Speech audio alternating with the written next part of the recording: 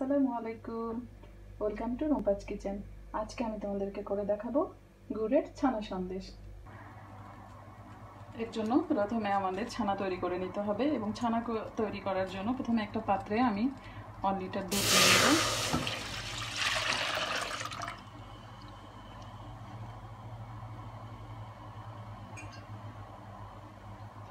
এবং দুধটা হাই হিটে আমি গরম করে নেব। এবং একটা স্প্যাচুলার দিয়ে ভালো করে নাড়তে থাকব, যেন নিচে লেগে না যায়। টু থ্রি মিনিটস এরকম লাগার পরে যখন এরকম গরম হয়ে আসবে দুধটা, তখন আমরা এটার সাথে two tablespoon vinegar add করব, আর নাড়তে থাকব।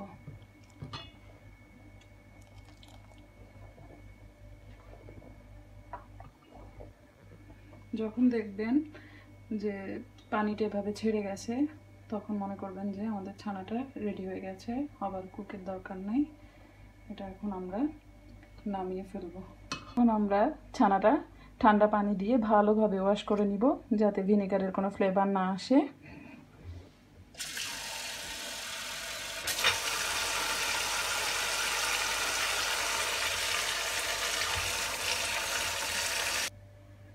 ধোয়ার পরে ভালো করে হাত দিয়ে চেপে জাস্ট এরকম শুকনা করে নিতে হবে ছানাটা। দেখো, আমার ছানাটা সন্দেশ বানানোর জন্য রেডি এখন আমি সন্দেশ বানাতে চলে যাব।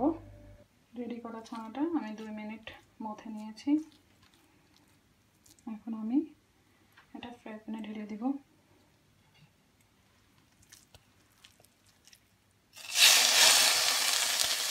এবং কমিয়ে দিব।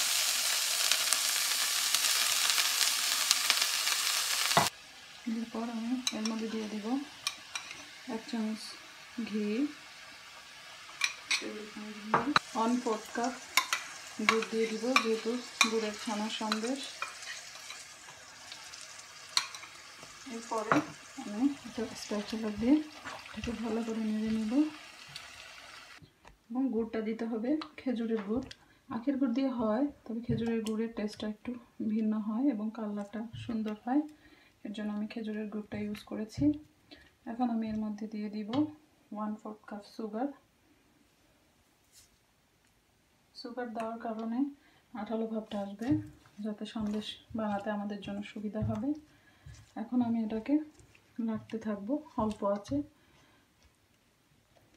এইভাবে চেপে চেপে লাগতে হবে, যাতে দলা ভাবটা না চলে আসে। এখন আমি এর মধ্যে টেস্টের জন্য দিয়ে দিব একটু লবণ। জাস্ট সামান্য একটু লবণ। যাতে মিষ্টির টেস্টটা ভালো হয়। যে কোনো মিষ্টি জিনিসেই হালকা লবণ দিলে মিষ্টির টেস্টটা সুন্দর হয়। দেখো, আমার ছানাটা রেডি এখন দেখতে হবে যে কড়াইয়ের সাথে যেন লেগে না থাকে।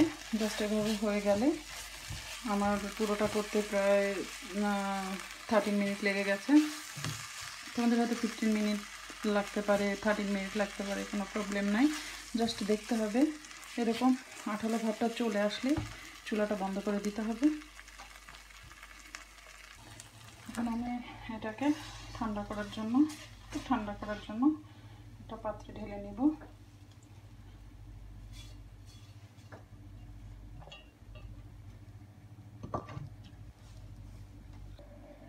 এখন আমি এটাকে একটু ঠান্ডা করে নিয়েছি, কারণ এটাকে আমি একটা শেপ করব।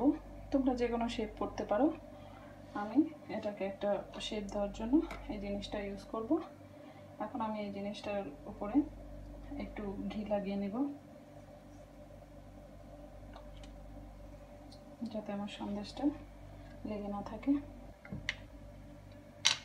এখন আমি এটাকে হাতে একটু ঘি লাগিয়ে সুন্দর করে ছোট ছোট করে গোল করে নিয়ে জাস্ট যে কোনো শেপের ডিজাইন করে নেব। চারদিক করে আমি শ্বাসটার উপরে এভাবে দিব। উপর দিয়ে আর একটা দিয়ে এভাবে চাপ দিব, তাহলে একটা ডিজাইন হয়ে যাবে। দেখো কত সুন্দর একটা ডিজাইন হয়ে গেছে। ব্যাস রেডি হয়ে গেল আমার গুড়ের ছানা সন্দেশ। এভাবে আমি সবগুলো করে সাজিয়ে দিব। এই দেখো রেডি হয়ে গেল আমার ছানা সন্দেশ। আমার এক কাপ ছানায় পুরো বারোটা সন্দেশ হয়েছে। আর আমি তোমাদেরকে একটা জিনিস বলে দিতে চাই, ছানা সন্দেশ করতে গেলে ছানাটা ওভারকুক যেন না হয়, এদিকে খেয়াল রাখবে। কেননা ছানাটা ওভারকুক হয়ে গেলে এটা আঠালো ভাবটা চলে যায় আর জিনিসটা ভেঙে যেতে পারে। আমার ভিডিওটা যদি তোমাদের ভালো লেগে থাকে, তাহলে আমার চ্যানেলটাকে লাইক শেয়ার অ্যান্ড সাবস্ক্রাইব করবে এবং পাশে থাকা বেল আইকনটাকে টাচ করে রাখবে যাতে আমার ভিডিওটা সবার আগে তোমাদের কাছে পৌঁছে যায়। আল্লাহ হাফেজ।